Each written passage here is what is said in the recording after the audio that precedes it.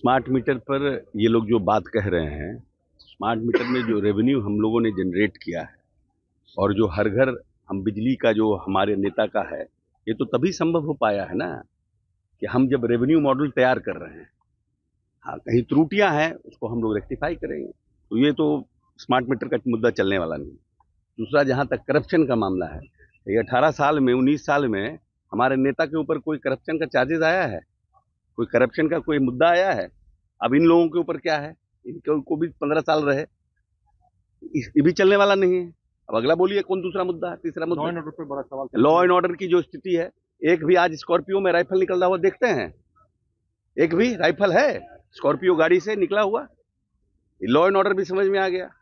आज के डेट में कोई पाँच रुपया का चंदा भी मांग सकता है। सरस्वती पूजा दुर्गा पूजा कोई व्यक्ति ज़बरदस्ती किसी व्यापारी से है क्या? कोई नमूना बताइए प्रदेश में। एक भी व्यक्ति बताइए कि कोई आदमी हमारे से सरस्वती पूजा का ज़बरदस्ती चंदा ले लिया हो एफआईआर किया हो। ऐसे कोई मुद्दा ही नहीं है। क्योंकि विपक्ष में है इनको कुछ कहना है तो इनकी भूमिका है कहेंगे अपनी बात। देखिए इसमें कहीं दो मत नहीं है कि माननीय नेता ने जिस तरह से अल्पसंख्यकों के बजट को अल्पसंख्यक का बजट कितना था? बाईस हज़ार करोड़ में?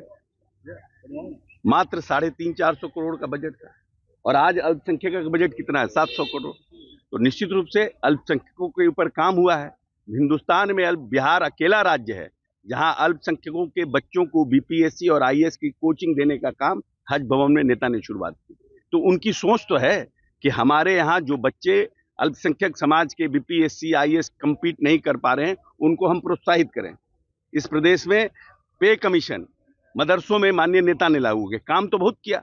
लेकिन जितना काम किया, ललन हमारे राष्ट्रीय अध्यक्ष और केंद्रीय मंत्री का कहना था कि जितना काम नीतीश जी ने कहा है, उस हिसाब से हमें वोट नहीं मिल पाता है।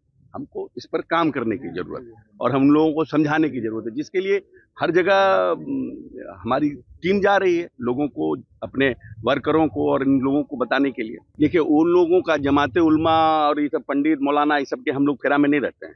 हमारे नेता विकास के काम में रहते हैं, हम विकास करते हैं। और ये मेरा और जनता के बीच डायरेक्ट संबंध है। हम बीच में किसी का नेता को ज़रूरत नहीं। हम जनता के लिए काम करते हैं जनता के बीच जाते हैं जनता से वोट मांगते हैं। हम जितना काम कर रहे हैं अल्पसंख्यकों में उतना हमको रिटर्न नहीं मिल रहा है। ये बात माननीय नेता ने कहा है ललन सिंह जी ने।